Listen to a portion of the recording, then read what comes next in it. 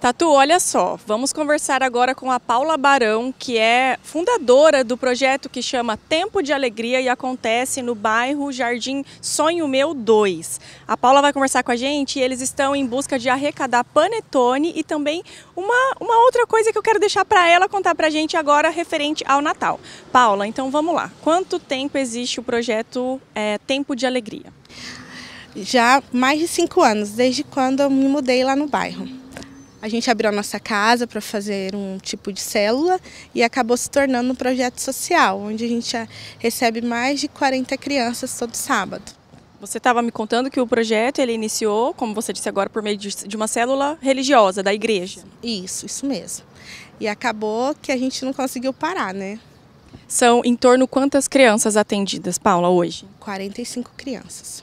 45 crianças. Daí vocês se reúnem aos sábados na sua casa e quais as atividades que acontecem durante o período, o período do tempo do projeto? Isso, fora as atividades que a gente dá de ensino religioso, aprende sobre Jesus, né, a verdade da palavra de Deus. A gente dá reforço escolar, a gente tem recreação, um tempo para eles de qualidade para eles brincarem, se divertirem com a gente, porque eles gostam de brincar com os adultos também, né? Quem que é envolvido nesse projeto? Você é uma das fundadoras, você estava me dizendo que tem uma outra pessoa também. Isso, sou a tia Paulinha. E eles têm também a tia Larissa, a doutora Larissa Carrião, que é nossa prima, nos ajuda muito lá também. O projeto, Paula, você estava me dizendo que é, vocês visam sempre voltar para é, bem-estar, alegria, qualidade de vida dessas crianças, é isso? Isso, isso mesmo. O objetivo do, do projeto, né? Tempo de alegria, um tempo de qualidade para as crianças.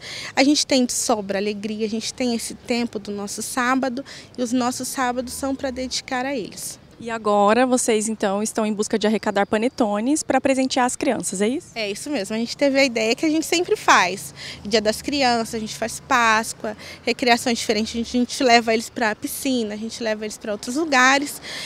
E esse ano a gente quer fazer diferente, a gente quer fazer uma ceia de Natal, uma mesa linda, uma mesa bem cheia, bem farta, e a gente gostaria de presentear eles com panetone e também dar um mimo para eles que é um chinelinho novo.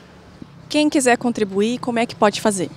Isso, pode estar entrando em contato comigo pelo WhatsApp, né? Pode também fazer um pix direto para a gente estar comprando os chinelos, os panetones que for preciso, ou pode também estar indo lá em casa.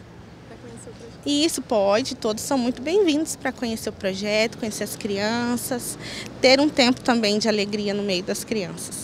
Parabéns, tá, Paula, pela iniciativa, parabéns pelo projeto. Então é isso, né, Tatu? Quem quiser contribuir, a gente vai colocar o telefone da Paula na tela e aí vocês podem estar entrando em contato com ela. Tanto, como ela disse, se quiser ir até o local, conhecer as crianças e levar o mimo que vocês aí vão poder contribuir, quanto também se quiser fazer um Pix. Então todas as dúvidas serão tiradas lá com a Paula no telefone que está na tela de vocês.